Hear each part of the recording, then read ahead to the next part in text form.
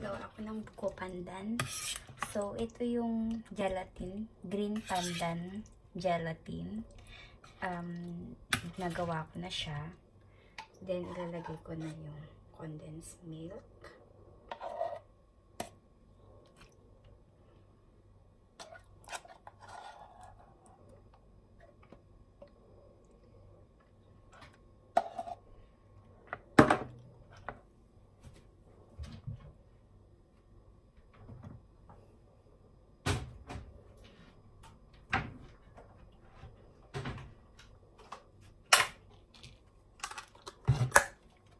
Nata de coco.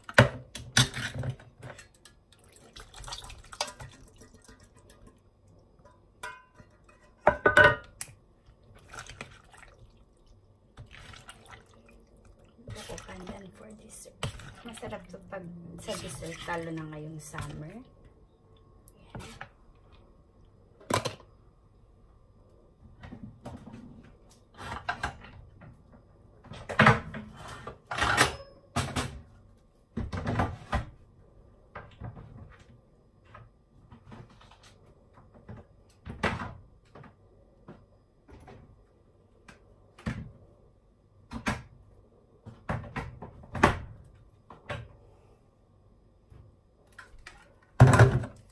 yung coconut. Coconut um, this is the coconut can. Ka nakakan lang siya. Pero mas masarap siya pag fresh ano fresh nyug or fresh coconut. Binili ko to sa Philippine store. Yan naka nakakan lang siya. Yang coconut. Okay medyo madalian na yung pagkagawa ko ngayon kasi kasi ko yung juice niya yan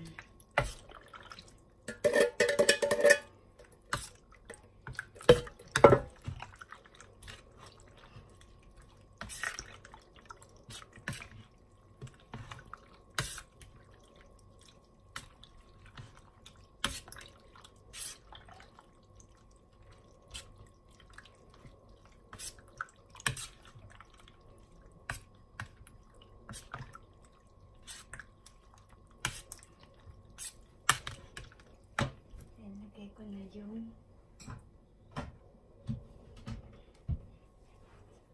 Nestle's cream.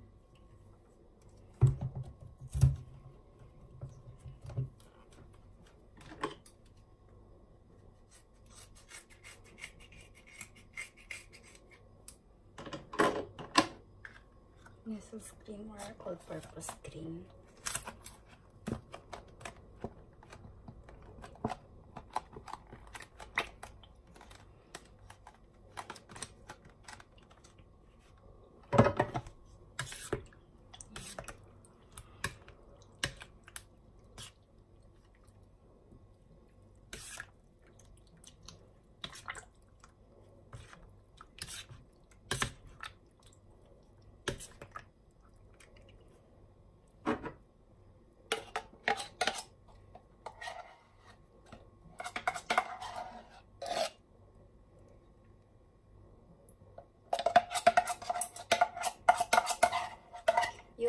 Condense po is half lang, half can lang yung nilagay ko.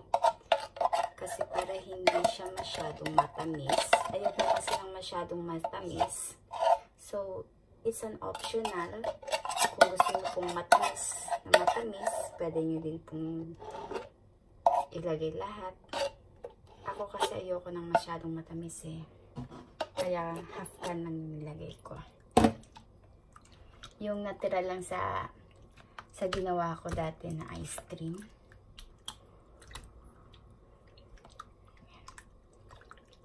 So,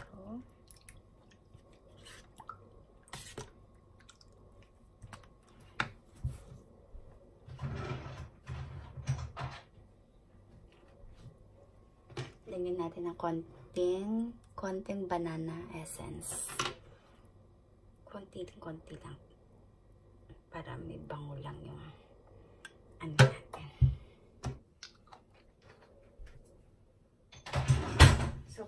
Isang patak lang, parang ganun lang siya. So, lagyan na natin siya sa ref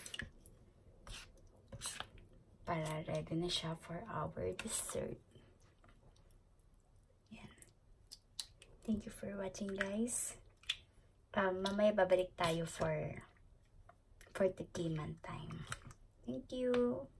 So, yan. Tikman na natin yung buko pandan natin kung ano ang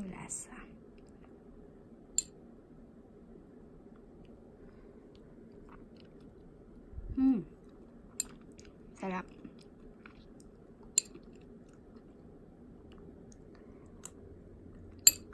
Hmm. So yummy. Sarap.